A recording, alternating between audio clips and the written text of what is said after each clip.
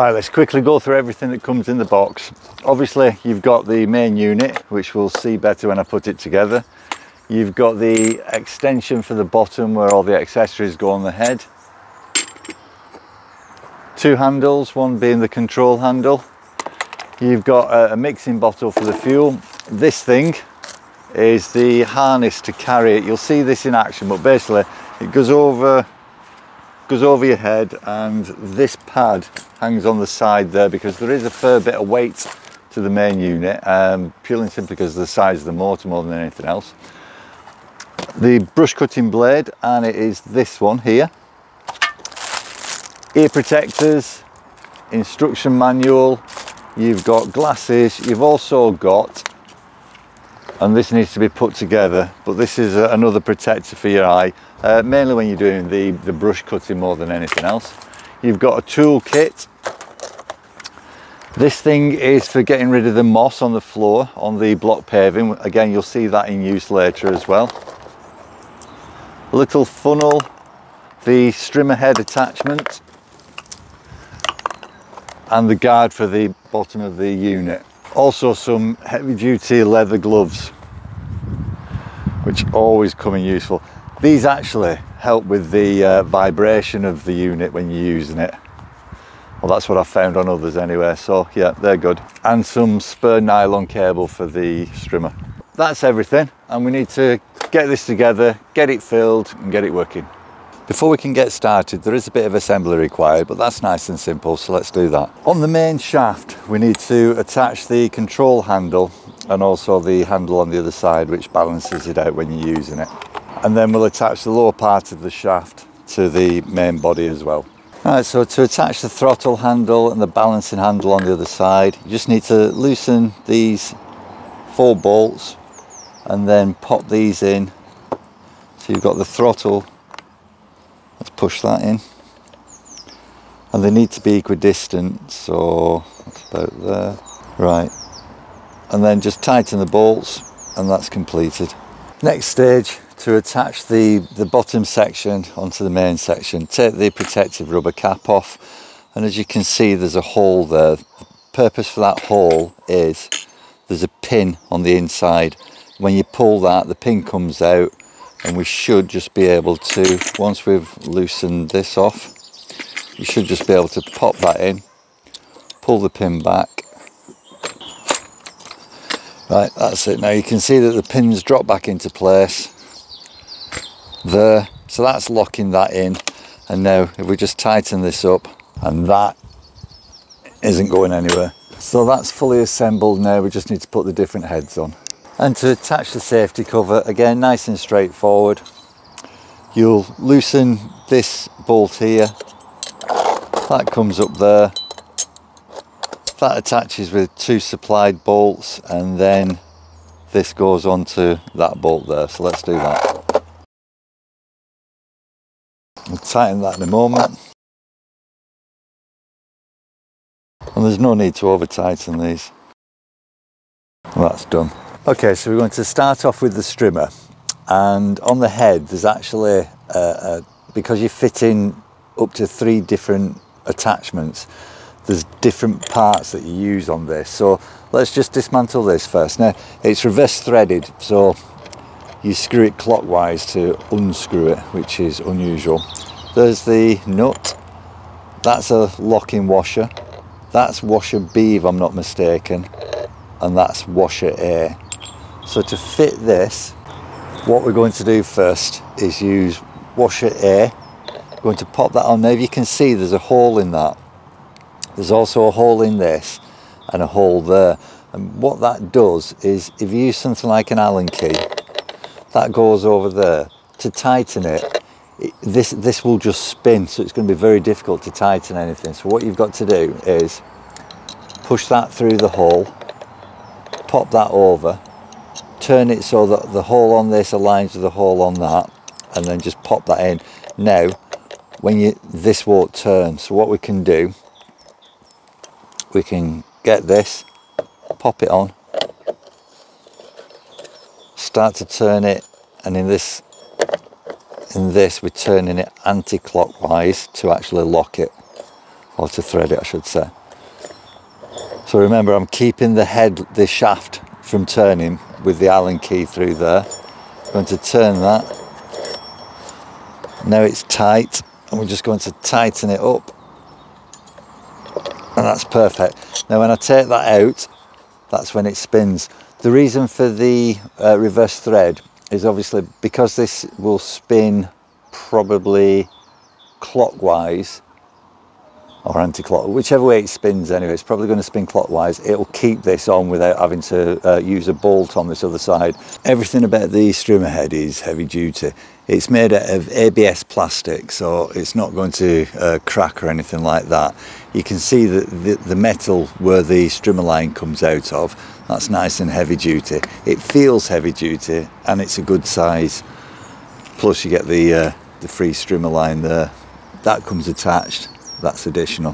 What we are going to do, we're going to keep these because they will come in useful with other attachments. Before we fill it with fuel, I'm just going to tidy this up by using the supplied cable clips, the tie its and just uh, just make sure that this is attached securely here. Okay, so that's done. Right, so we need to fill it with fuel now. So although you do get um, a mixing bottle. Because it's two stroke you've got to have oil two stroke oil and petrol. But because I've got lots of these I've already got some pre-mixed. And what we're going to do is just take the filling cap off pop it to one side get the fuel mix and we'll just pour that in. And it has got quite a decent sized tank on it this which is always useful saves you having to keep refilling Pop the lid on there. Pop the lid on there. And then it's just a case of starting it. As is always the case with these, there's a, a priming pump there. Because the fuel's just gone into it, you'll need to prime this. So if I turn it that way so that the fuel's actually connecting with the pipes inside and we press that rubber ball, now you can see that there's fuel in there. Because we haven't started this before, I'm going to turn the switch to on. I'm going to put the choke up and then, let's see, first time. Because the choke's on, we need to move the choke down now probably. And that's it, all done and dusted.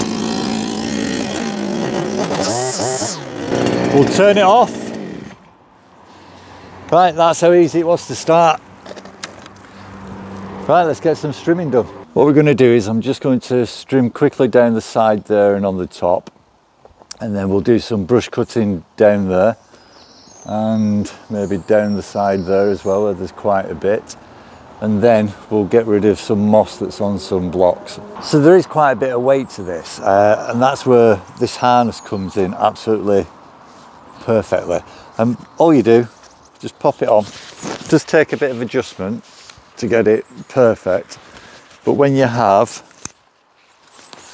clips together like so, this hangs on the side and all you do, there's a, a loop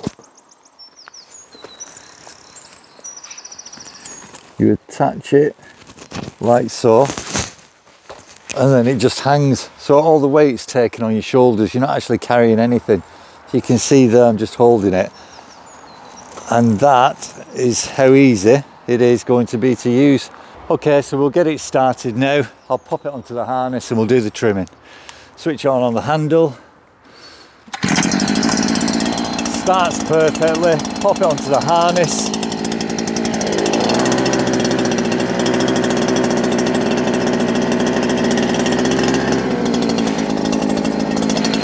Now as you can see, that's weighted perfectly.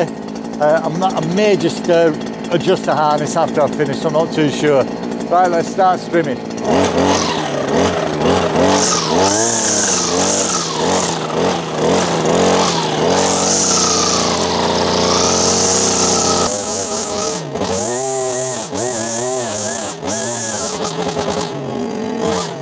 Right, before I carry on, I'm just going to get the face mask. Okay, so this is what came to with it. Uh, I feel a lot safer now, so let's finish the job.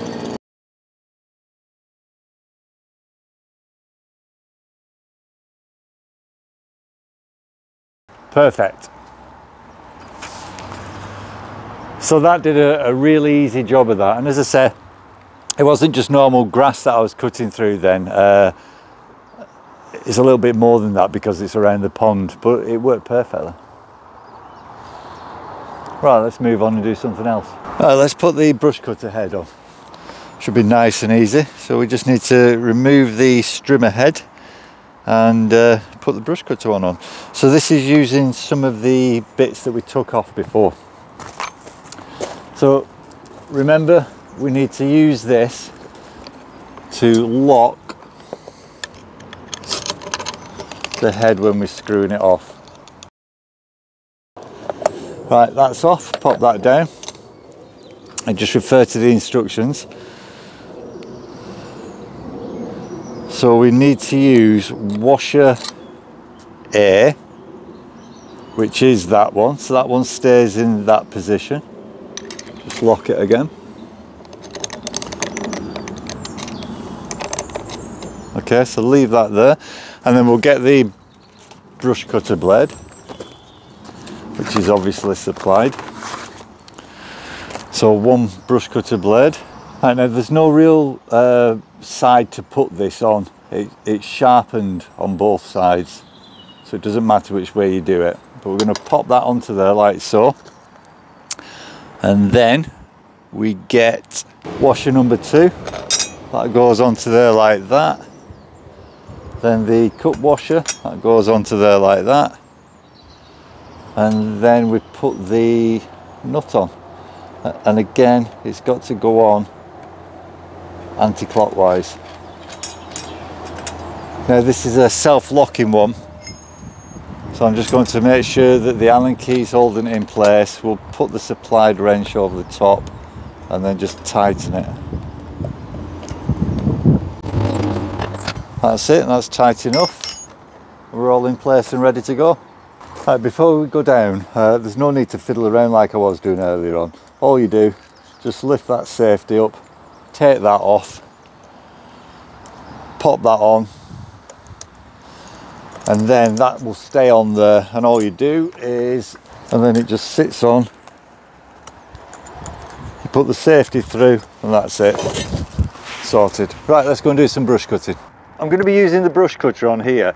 Now, we're not quite far enough into the season to be doing any more than this yet. It's just these brambles that I'm going to be getting rid of. And there's uh, bits of trees further down. But we'll see how it operates anyway. So I'm just going to get it started and then we'll get going. Right, so let's get going.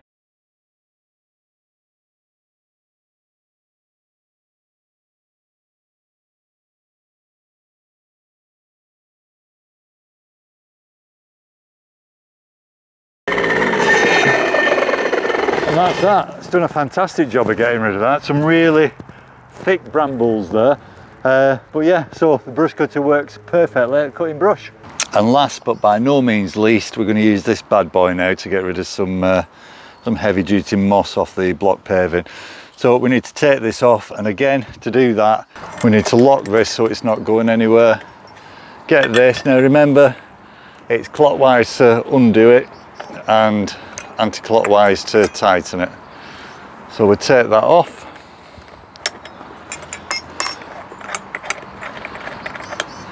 Take the nut off, take the cup washer off, take washer B off, remove that,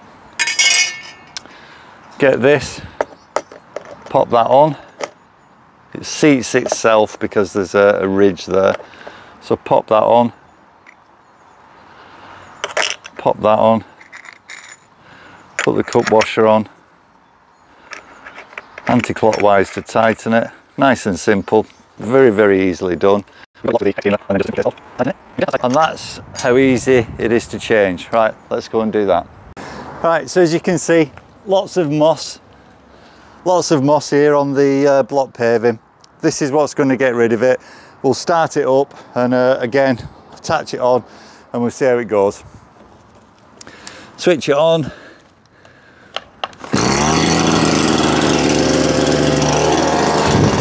An immediate start.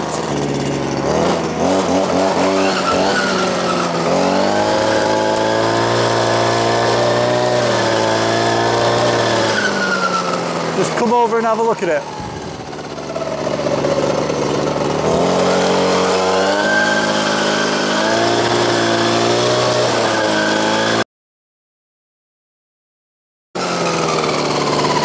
Right, so I'll just get this finished off, get it swept up and we'll have another look.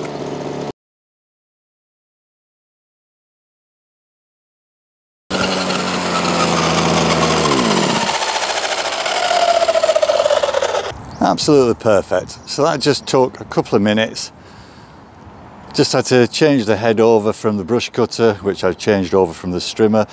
Each one of those was so easy to do but you can see how it's just brought all of the moss up that was on there.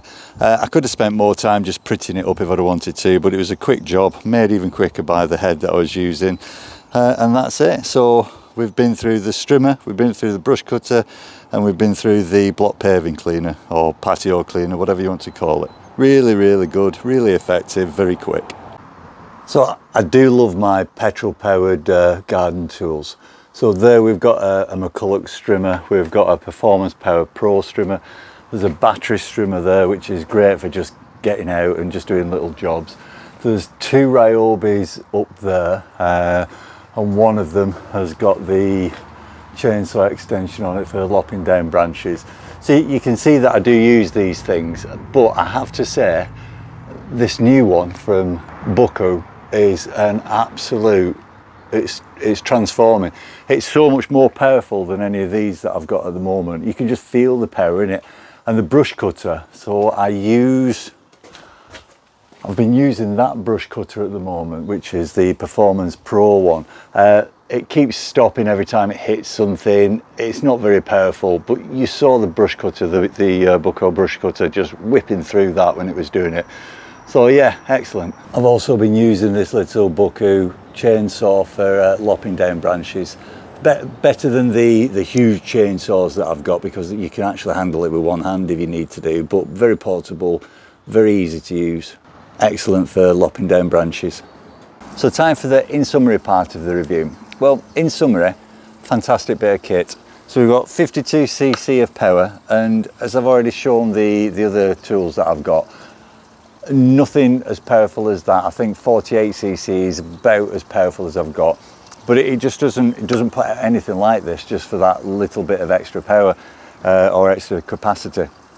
The heads are extremely easy to interchange. So I've put the strimmer head back on. That's the brush cutter that worked perfectly. And that's the one that brought the moss up off the block paving. The, the power that it gives out, as I said earlier on, the other brush cutter, it just stops when it hits something substantial. This just powered through it. You saw it take some small trees down, uh, or saplings, whatever you want to call them. So the power was superb. You saw how easy it starts up. Now, you don't normally get that, or I don't get that on any of my other tools. You get everything with it that you need, so you get all the safety equipment, sometimes twice. In other words, you've got the, the head visor and you've got the goggles. Uh, you've got the gloves, you get a spare spark plug with it, you get all the tools that you'll need to, to work on it, pretty much everything that comes in the kit. And for the price, which I think was about 130 something pound, this Buko strimmer, bush, brush cutter and everything else that it does is absolutely excellent value.